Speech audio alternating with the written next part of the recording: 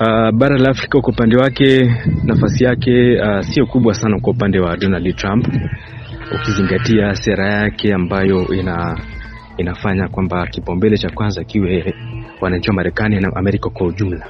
Thank you very much, General. I appreciate it. And I'm greatly honored to host this lunch, to be joined by the leaders of Cote d'Ivoire, Ethiopia, Ghana, Guinea, Nambia, Nigeria, Senegal, Uganda, and South Africa. In particular, I want to thank President Conde, who is representing the African Union. Thank you. In this room, I see partners for promoting prosperity and peace on a range of economic, humanitarian, and security issues. We hope to extend our economic partnerships with countries who are committed to self reliance and to fostering opportunities for job creation in both Africa and the United States.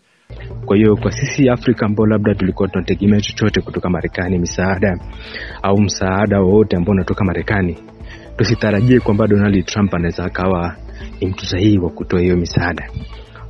Tunachoweza kutarajia kwa Donald Trump labda kama tukitaka kufanya biashara ambayo ni, ni, ni, ni tunasema ni biashara ambayo yenye mizania sawa, kwamba tufanye biashara lakini sio swala la kutegemea misaada, mfano na mashaka na misaada. Kwa mfano tuna misaada kama USAID zile ambazo mara nyingi zinatoka zinakuja kwa nchi za Afrika kusaidia miradi mbalimbali. Kwa hiyo nina mashaka kidogo kuhusu namna ambavyo serikali ya Trump itaendelea kufanya hiyo misaada au inaweza ikasitisha hiyo misaada, lakini nafikiri kama itatoka hiyo misaada itatoka kwa masharti makali ambayo sidhani kama tutakuwa tayari kuyapokea. Lakini kitu kingine pia ambacho uh, dunia upande mwingine wa dunia inapaswa kufahamu kuhusu Donald Trump ni sera yake kuelekea China sera yake yeye Donald Trump kwa upande wake anamwona China kama adui yake namba moja kwenye masuala ya ukuu wa Amerika.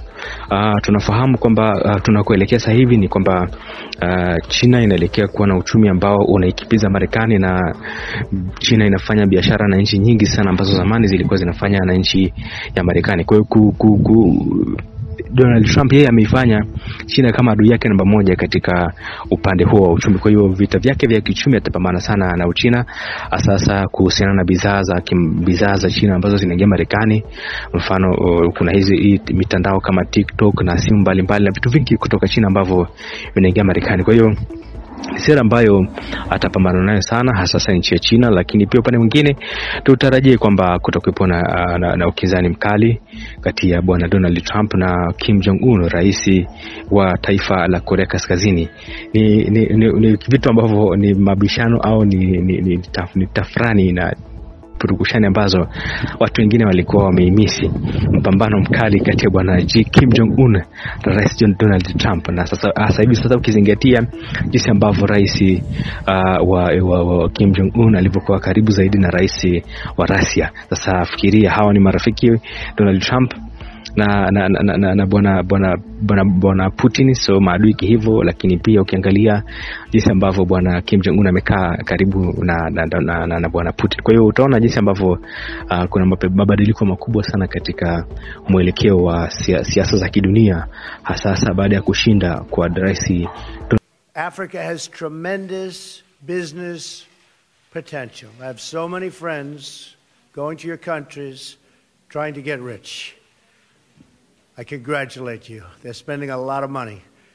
But it does, it has a tremendous business potential and representing huge amounts of uh, different markets. And for American firms, it's really become a place that they have to go, that they want to go. Six of the world's 10 fastest growing economies are in Africa.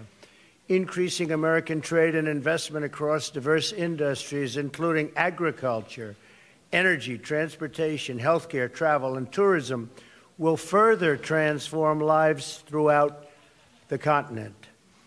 Secretary Tillerson and the U.S. Millennium Challenge Corporation are already considering an investment worth hundreds of millions of dollars in Cote d'Ivoire, which has made impressive economic reforms. Really done a tremendous job. We also hope that African firms like the company Sasol consider making investments in the United States. Sasol, as an example, is building a $9 billion petrochemical plant in Louisiana, which will bring new jobs to the state, and really hardworking Americans will be manning those jobs. But we cannot have prosperity if we're not healthy. We will continue our partnership on critical health initiatives. Uganda has made incredible strides in the battle against HIV AIDS. In Guinea and Nigeria, you fought a horrifying Ebola outbreak. Nambia's health system is increasingly self sufficient.